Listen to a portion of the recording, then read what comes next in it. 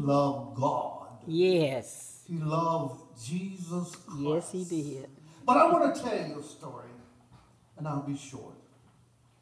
There was once the story was told about a man that had gone to heaven. And Jesus was taking him to see his mansion. Mm. And as he walked, he saw a great big mansion.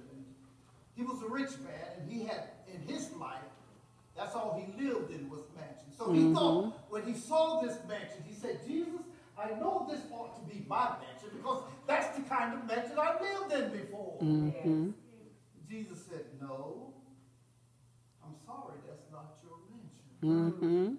Mm-hmm. So they walked a little bit further and he saw another mansion and he said, Now, Jesus, that my mansion. Kind of reminds me of where I used to live.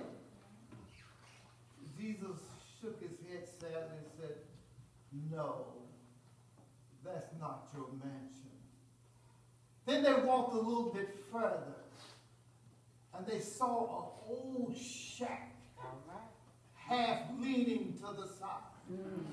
And he said to himself, well, who would want something like that? And I know that couldn't be my mansion. That couldn't be so. I, I would no, I would never live there. Jesus said, that's your mansion. Mm-hmm. He said, Jesus, how could that be my mansion? Jesus said, because it's the type of timbers you sent up. All right, all right. Yes. Ronnie was Yes. a praying man. Yes. He sent up great timber. timbers to God.